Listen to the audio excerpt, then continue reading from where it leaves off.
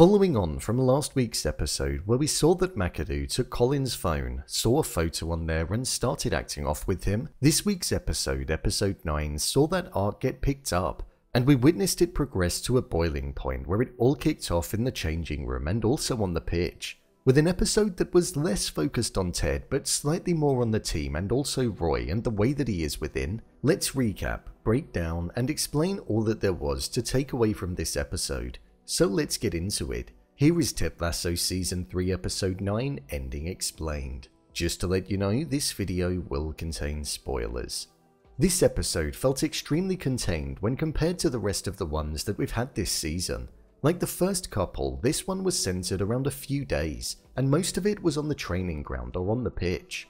With AFC Richmond performing well following their tactical change midway through the season to total football, it was something that had put them on an 8 game winning streak, although they were 1 0 down at half time to Brighton in the game that we were watching unfold. This was where we saw the eruption take place between McAdoo and the fan. All throughout training, in the pre match, and during the game, we saw that Isaac was treating Colin extremely badly, almost to the point where it made you feel as though he was homophobic due to only acting like that towards Colin since he found out that he was gay. However, it turned out that wasn't the case. With the fan chanting out a homophobic slur, McAdoo went into the crowd and squared up to him, which ultimately meant that he got a red card.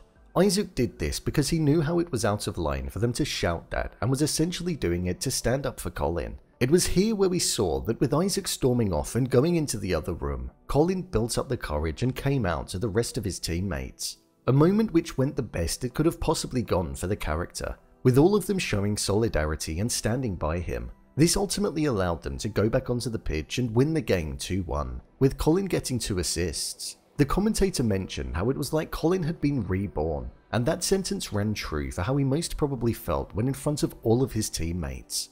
Right at the end of the episode, we saw Isaac go to Colin's house and apologize for the way that he acted, and it turned out that it was only because Isaac was hurt over the fact that Colin felt as though he wasn't able to tell him, and was worried that he thought that he wouldn't be supportive of him, but we saw the both of them squash the beef, make up, and in the background, a song with the lyrics I Am What I Am was playing. A song which rounded off the episode in a perfect way, with Colin being accepted by his teammates for who he was, and it also running true for the way that Roy was looking at himself, and the way Nate was choosing Jade over Rupert. Let's break the rest of the video down by the main characters. Nate.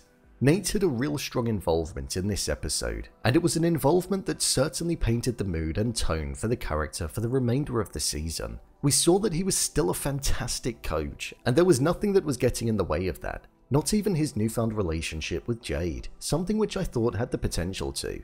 But this episode was important for Nate because I feel it continued the turning point in the character. We saw Nate see Rupert for who he truly was and he walked away. The first time that he'd done that all season. Before, he'd go along with it and would spend the entirety of his time feeling uncomfortable, but he didn't do that this time round. It all started when Rupert met Jade in his office and didn't provide the warmest of welcomes. Inside, Nate doesn't like Rupert that much and most certainly doesn't agree with the way that he acts.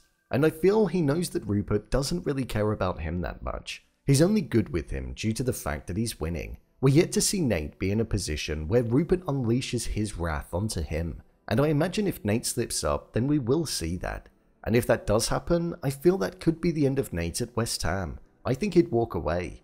The end with Nate being in the bar with Rupert for a guy's night, but Rupert bringing along two women was the end of the respect that I feel Nate's going to show Rupert. With Rupert not even looking phased at the fact that Nate said that he was leaving, I think we're going to see Nate pulling away from Rupert now, and most likely gravitating back towards Ted, the person that he used to look up to and was a much better mentor than Rupert. Nate is clearly still following AFC Richmond, as we saw that he was reading an article on the fact that Isaac went into the crowd and got into a confrontation with a fan, so it shows us that he is still interested. I just hope it happens soon.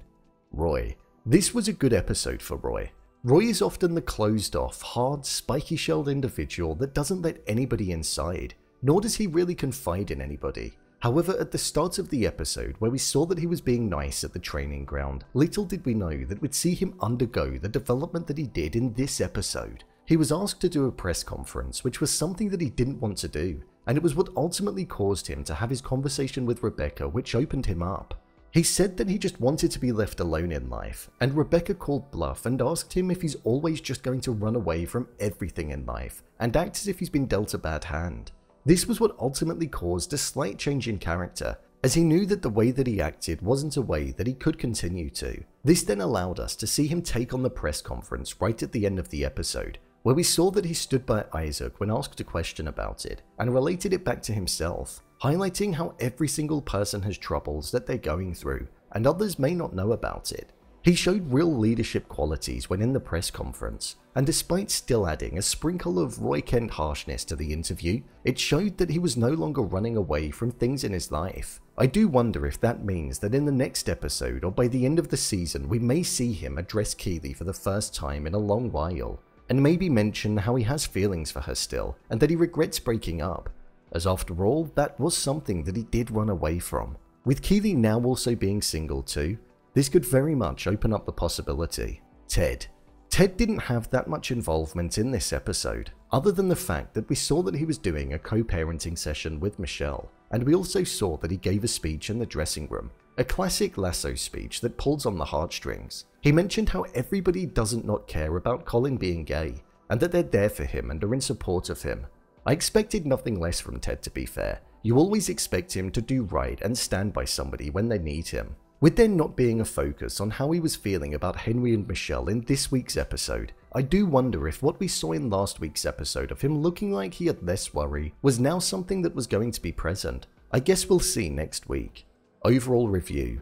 I thought this was a good episode. It was one that felt like there was a lot of emotional weight behind it. With it being focused around Colin coming out, the rebirth of Roy, and Nate taking a deeper look at his morals too, I'm not surprised that it felt like that. It was the shortest one that we'd had in a good few weeks, which I didn't mind, because I feel as though it said everything that it needed to and didn't draw anything out too long. With Colin coming out, I believe this is the beginning of the end.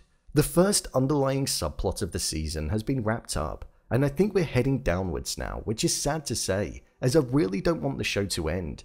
With only a couple of episodes left, we've got to see Nate pick up with Ted soon, right? The next episode is focused around the international break, so both managers are going to have a bit of time on their hands. Maybe that's when it will happen. I guess we'll just have to wait and see. So, there you have it. Ted Lasso Season 3 Episode 9 Ending Explained. If you want to see more videos such as Endings Explained, theories and predictions, and character breakdowns, then click on the i button or alternatively you can head over to my channel where you'll find them all. If you'd like to give me a show or movie that you'd like me to review, then head over to my Twitter, at brainpilot underscore, and tweet me what show or movie you'd like me to review next. And finally, if you'd like to see what I rate the latest movies that don't quite make the cut to getting a dedicated video, then head over to my Letterboxd profile. It's where I rate the latest releases in real time. What did you think of this episode? Leave a comment down below and don't forget to subscribe. I'll see you next time.